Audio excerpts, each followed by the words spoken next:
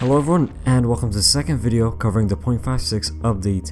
In this one we're looking at experimental again as this update is still on there and hasn't moved over to stable just yet and we're going to be covering things that we didn't get to in the first video and also some new things which have been added in the recent updates that have been done to experimental.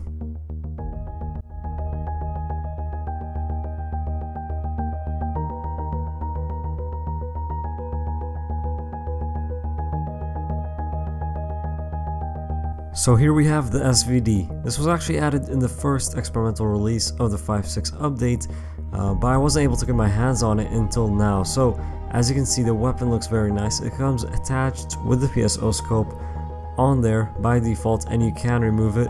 Uh, the weapon actually uses the 7.62 by 54mm round, which is also what the Mosin uses, and don't forget that in this update, and we did talk about this in the last video, uh, that ammo has a new texture. A 10 round magazine can also be found for the SVD, although it's not too common.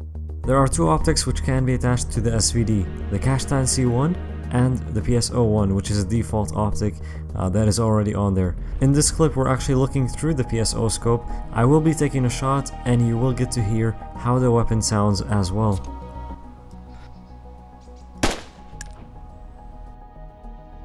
So as you heard there, the SVD is really quiet and I think uh, that just makes it even more dangerous. Not only is it a quiet weapon, but can also shoot with the PSO scope on it at a pretty good distance. Uh, so in the right hands, this weapon can be very dangerous. Moving on to other new weapons which have made it into the .56 update, we have the VSS Vintorez. This is a suppressed sniper rifle that uses the new SP6 rounds.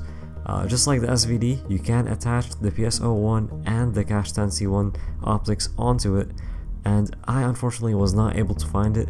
Uh, it is supposed to be a rare weapon, and hopefully when I do get my hands on it, you will see it in a future video. Another new weapon which has made it into the .56 update is the UMP45. This takes the .45 ACP rounds and if you're lucky enough, you can find a 25 round magazine for it as well.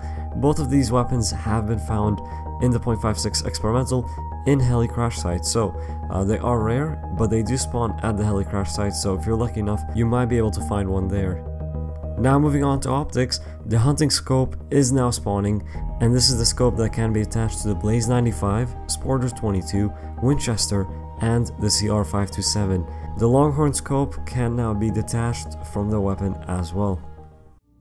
And now moving on to clothing, medical scrubs have been added. At the time of recording this, the pants texture was not working so you won't see those but everything else was uh, you can see there we have blue medical scrubs and they do also come in green.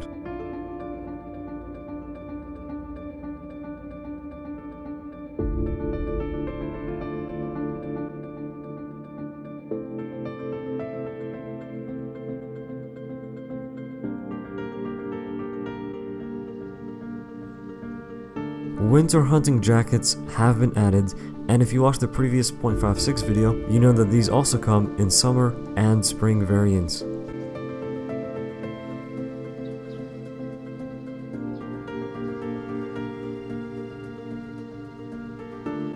Maps for certain cities around Chernarus have been added. This is the map of Zelenogorsk. There are also ones for Krasnostov and Berezino that have been found so far. Working radios have been added and you can turn them on by using a battery. The next audio that you're about to hear is all in-game audio and I was actually spooked out when I was running through the woods and ended up hearing someone listening to the radio.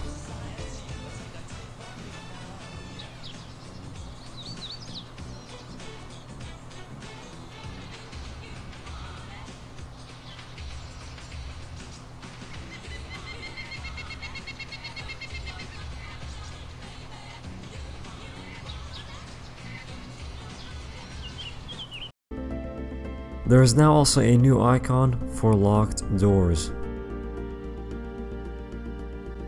One of the log cabins in Chernaya Polana has been removed.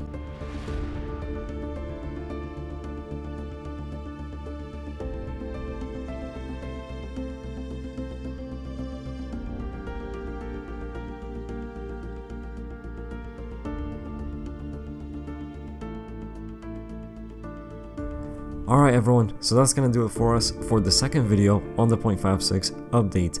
I'm probably going to do more videos on this one as more updates are still being released on experimental and uh, more is being added to this 0.56 update. So you can look forward to those and don't forget if you missed the last one uh, you do want to check that one out. That was a 13 minute video and we discussed a lot of the new content in this update. So uh, go back and see that one if you haven't seen it and thank you so much for watching. I will see you all in the next video.